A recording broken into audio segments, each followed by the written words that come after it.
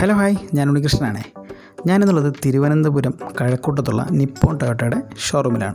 എന്റെ കാറൊന്ന് സർവീസ് ചെയ്യാൻ വന്നതാണ്. അപ്പോൾ ഒരു വീഡിയോ എടുക്കാമെന്ന് കരുതി ഇവിടുത്തെ ഫെസിലിറ്റീസും കാര്യങ്ങളും ഒന്ന് നിങ്ങളെ കാണിക്കാൻ വേണ്ടിയിട്ടാണ്. ഇത് കസ്റ്റമർ ലോഞ്ചാണ്. വലിയ ഒരു കസ്റ്റമർ ലോഞ്ചാണ് അവരവിടെ ഒരുക്കിയിട്ടുള്ളത്. കഫറ്റേരിയയും മറ്റു കാര്യങ്ങളെല്ലാം കസ്റ്റമർ ലോഞ്ചിന് അടുത്ത് തന്നെയുണ്ട്.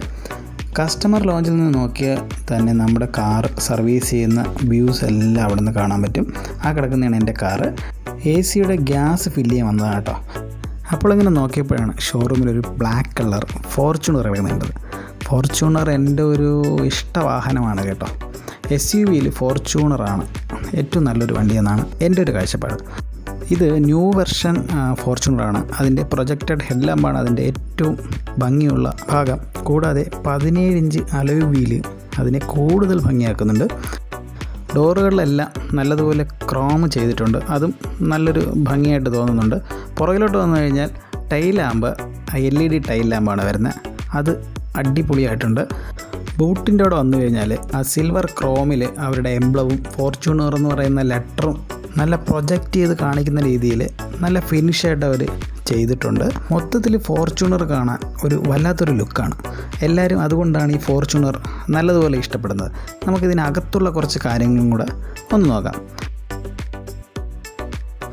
നല്ല അടിപൊളി ലെതർ മെറ്റീരിയൽ കൊണ്ടാണ് ഫ്രണ്ടിൽ കൂടുതൽ കാര്യങ്ങൾ ചെയ്തിരിക്കുന്നത്.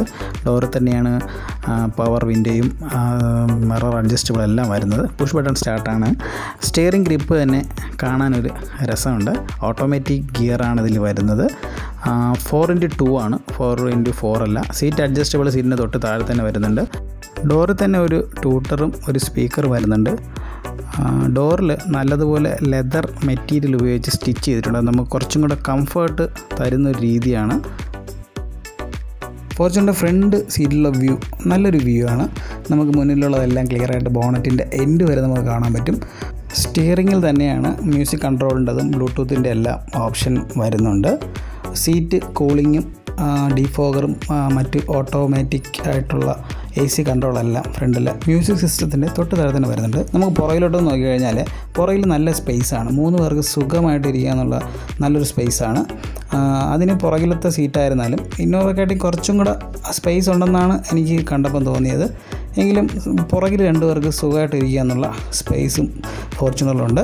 പുറകിൽ ബൂട്ടിന്റെ സൈഡിലോട്ട് വന്നു കഴിഞ്ഞാൽ പവർ ബൂട്ടാണ് ഇതിൽ വരുന്നത്. ജസ്റ്റ് ഒന്ന് ബട്ടൺ പ്രസ് ചെയ്ത് കഴിഞ്ഞാൽ ബൂട്ട് ഓട്ടോമാറ്റിക്കായിട്ട് ഓപ്പൺ ആവുകയും അതുപോലെ തന്നെ ആ ബട്ടൺ ജസ്റ്റ് ഒന്ന് പ്രസ് കഴിഞ്ഞാൽ ഓട്ടോമാറ്റിക്കായിട്ട് ക്ലോസ് ആവുകയും ചെയ്യും. ഇത് നമുക്ക് വളരെ ഒരു ഹെൽപ്ഫുള്ളായിട്ടുള്ള ഒരു ഓപ്ഷനാണ് ഇത്രയും വലിയൊരു വണ്ടിയുടെ ഡിക്കി തുറക്കുന്നതെന്ന് പറഞ്ഞു കഴിഞ്ഞാൽ കുറച്ച് ബുദ്ധിമുട്ടുള്ള കാര്യമാണ്.